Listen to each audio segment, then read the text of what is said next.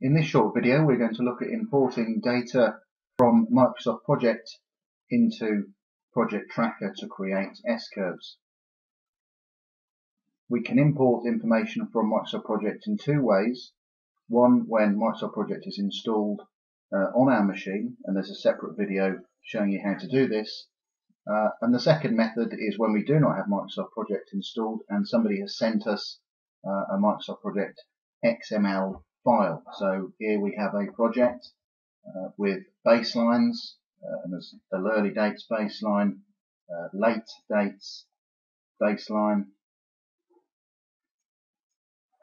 and uh, we can set a weighting against activities if certain activities have priority uh, over others. So in this instance, activity 6 has double the impact on the project as the other activities and the person producing this uh, project for us would have saved as uh, an XML file, Microsoft Project XML file, and would have distributed that to us.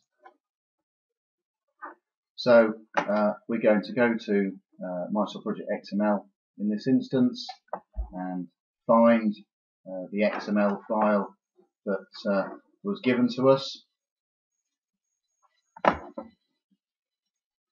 and select our baselines that were in the project. We can give the baselines our own names uh, and we can choose to ignore uh, working time uh, and non-working time, ignore calendars or to, to, or to smooth uh, over those calendars. But in this case, we're going to get the most accurate curve we can.